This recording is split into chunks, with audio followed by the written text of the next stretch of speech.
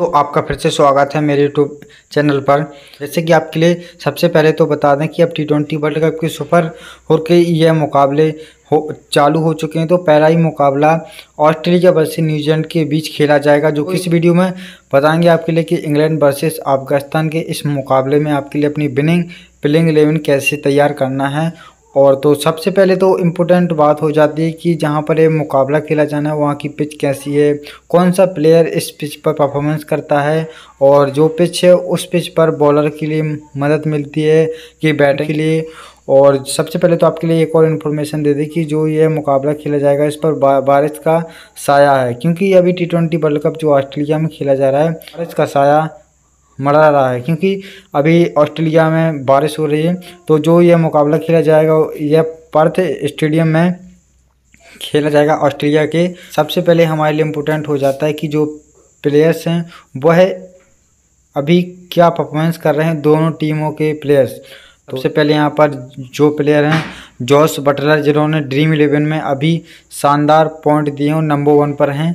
इसके बाद रशीद खान, अफ़गानिस्तान के लिए इतने हल्के में भी नहीं ले सकती इंग्लैंड, क्योंकि क्योंकि अफ़गानिस्तान के पास एक मज़बूत बॉलिंग है और यहाँ पर इंग्लैंड के पास भी बैटिंग बहुत ही शानदार है। तो यहाँ पर जोस बटलर नंबर वन पर हैं ड्रीम इलेवन में और इन्होंने अपने में पाँच मैचों में एक में नब्बे, छब्बीस, एक सौ सोलह, तीस, छियालीस इन्होंने इस तरह पॉइंट दिए हैं ड्रीम इलेवन में और सबसे ज़्यादा कैप्टन बनाया जाता है जोश बटल के लिए ही और वाइस कैप्टन भी।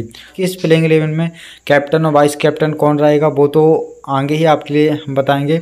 तो सबसे पहले तो एक और चीज़ बता दें आपके लिए कि आप अपने ड्रीम इलेवन अकाउंट के लिए बहुत ही सिक्योर रखें, क्योंकि आप ड्रीम इलेवन अकाउंट बहुत ज़्यादा हैक होने लगे हैं। तो सबसे, यदि आपने अभी तक वीडियो को लाइक और चैनल के लिए सब्सक्राइब नहीं किया तो सब्सक्राइब कर लीजिए और वीडियो के लिए स्किप नहीं करना है। यदि आपके लिए इस मुकाबले में पैसे विनिंग करना है, इसके बाद रशीद खान, जो कि अभी दूसरे नंबर पर बने हुए हैं, जिन्होंने सबसे ज़्यादा ड्रीम इलेवन में पॉइंट दिए हैं।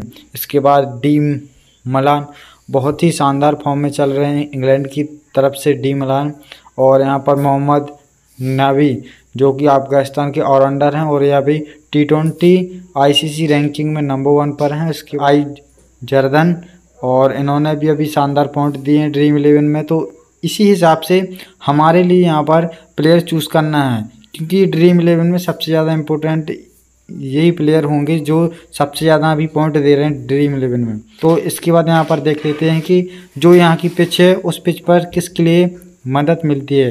तो सबसे पहले यहाँ की पिच रिपोर्ट है कि यह पिच बॉलिंग पिच है और यहाँ पर स्पिन बॉलर के लिए पचास प्रतिशत मदद मिलती है और 50 प्रतिशत पेसर बॉलर के लिए।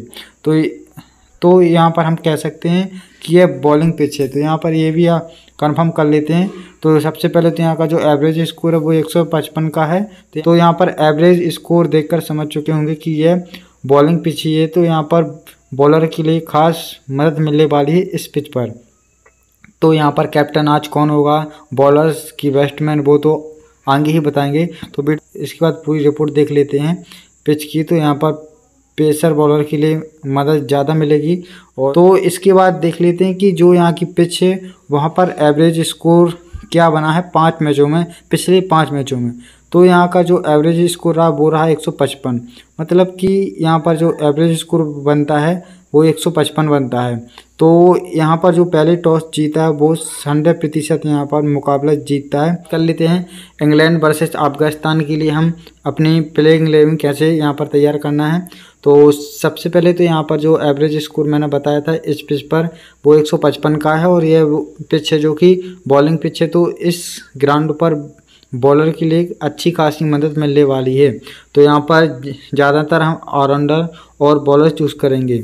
तो यहाँ पर सबसे पहले तो बैटिंग में जॉस बटलर के लिए चूज़ कर लेते हैं विकेट कीपर में क्योंकि शानदार परफॉर्मेंस कर रहे हैं और सबसे ज़्यादा यहाँ पर ड्रीम इलेवन में पॉइंट भी दे रहे हैं जॉस बटलर तो इसके बाद अफ़गानिस्तान के विकेट कीपर आर गुरवाज के लिए और इसके बाद यहाँ पर बैट्समैन में ए हेल्स जो कि शानदार अभी बैटिंग कर रहे हैं और इनकी ओर से ओपनिंग करने के लिए आते हैं। इसके बाद डी मलान जो कि अच्छी लय में दिख रहे हैं अभी। इन्होंने पिछले मुकाबले खेले हैं तो बहुत ही शानदार परफॉर्मेंस किया है।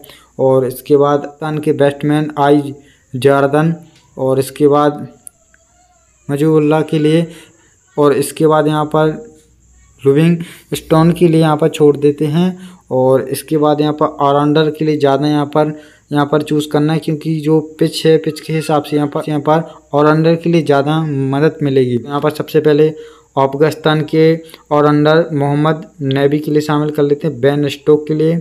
और इसके बाद सैम करन। बॉलर चूज़ कर ले तो बॉलिंग में यहाँ पर रशीद खान, सी बॉक्स। और यहाँ पर इसके बाद एक और बॉलर चूज़ कर लेते हैं, मुजीब अर रहमान तो यहाँ पर तीन बॉलर्स चूज़ कर लिए तो एक बार रिव्यू करके चेक कर लेते हैं।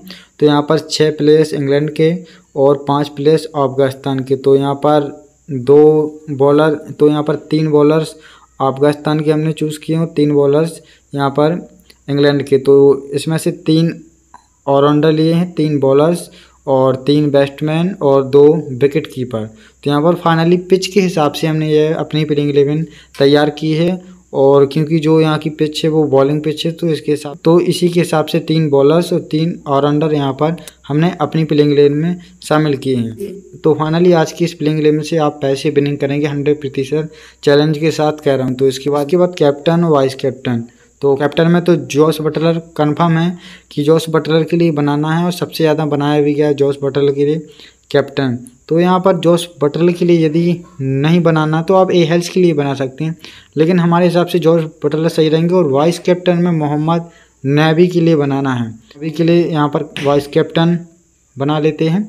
तो कैप्टन जॉस बटलर और वाइस कैप्टन मोहम्मद नबी तो फाइनली कंफर्म टीम बन चुकी है और टॉस के बाद कोई भी प्लेयर्स चेंज होता है तो मैं अपने टेलीग्राम पर अपडेट यहाँ पर दे देता हूँ। कि आपने अभी तक हमारा टेलीग्राम ज्वाइन नहीं किया है तो वीडियो के डिस्क्रिप्शन में लिंक बन जाएगी। आप वहाँ से ज्वाइन कर लीजिए। और आपके लिए टॉस के बाद की जो प्लेइंग इलेवन रहेगी, वो आपके लिए हमारे टेलीग्राम चैनल पर मिल जाएगी। तो ये आपने अभी तक चैनल के लिए सब्सक्राइब नहीं किया तो सब्सक्राइब कर लीजिए। क्योंकि जो मेरा टारगेट है वो टी ट्वेंटी वर्ल्ड कप में ये है कि जो मेरे व्यूवर्स और सब्सक्राइबर हैं, उनके लिए हम यहाँ पर ड्रीम इलेवन में ब्रिंग करवाएँगे टी ट्वेंटी वर्ल्ड कप में। और आपका हर सपना ज़रूर पूरा करवाएँगे।